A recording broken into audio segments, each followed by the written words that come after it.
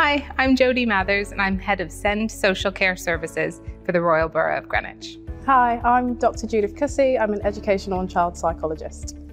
An autistic young person might experience difficulties with all the challenges mentioned in previous videos, and these difficulties might intensify during adolescence because their life becomes more complicated and harder to predict or understand.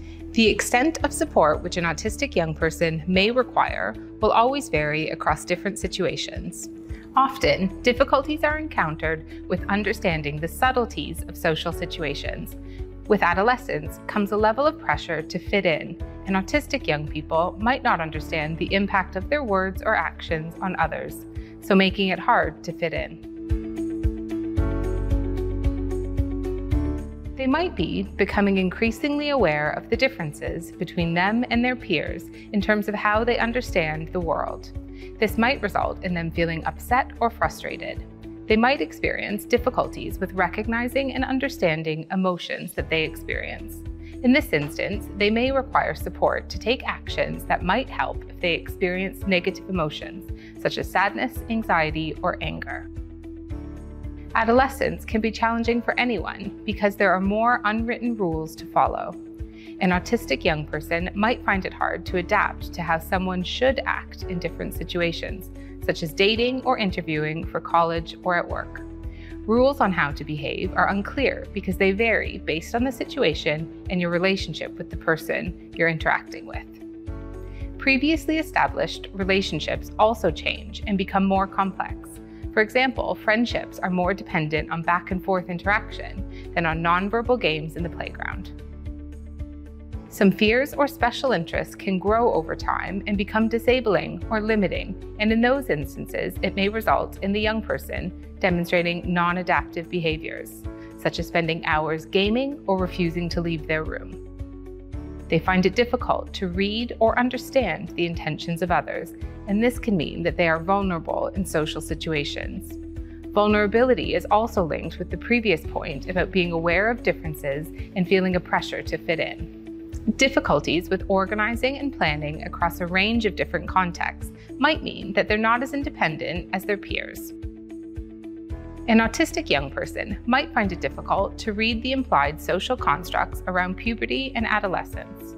They may express personal information about themselves or questions in ways that could leave them vulnerable to abuse or bullying. An example may be a young person sharing in front of a group of peers physical changes to their body and asking if anyone else has experienced that.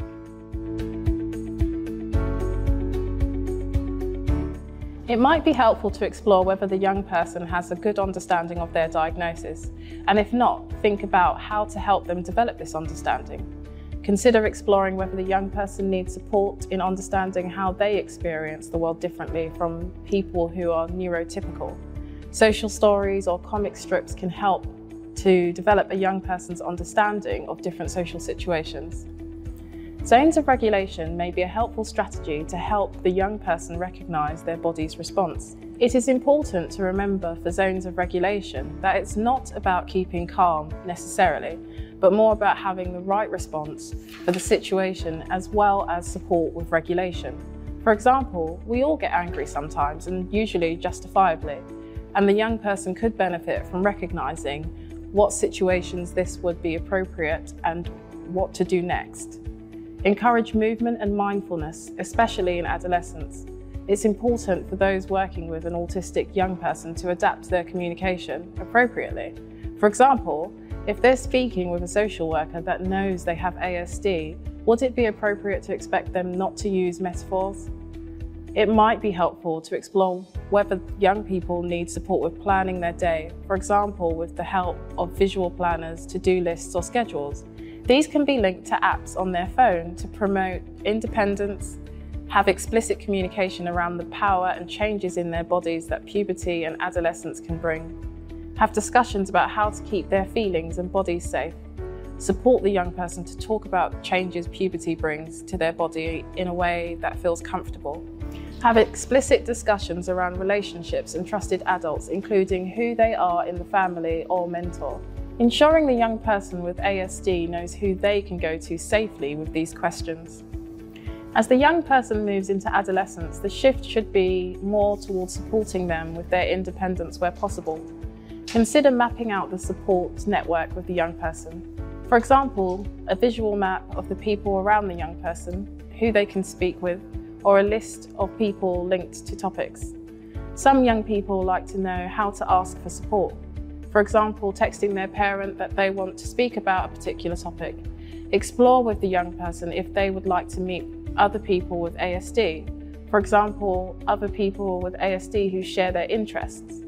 Explore with the young person what they find helpful, not helpful when meeting with new people, and to support them to share this with people they meet if they think it would be helpful. Working directly with parents and local partnership services, we're creating a series of videos to help and advise families who have an autistic child. In this series, we'll cover everything from how to speak with young people to dealing with everyday situations like dinner time or traveling. We'll give you tips and tricks that parents and professionals have learned through their own experiences, and also teach you a little bit about what autism may mean for your child or young person. A very special thank you goes to the Greenwich Parent Carer Participation Forum, who were instrumental in co producing this series alongside professional services.